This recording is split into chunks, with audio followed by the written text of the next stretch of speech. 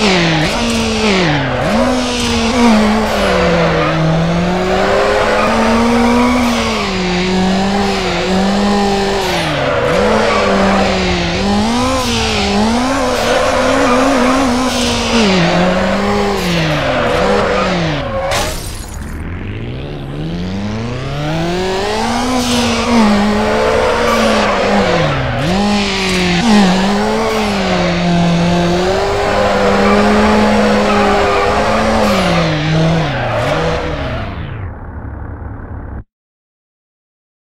Go.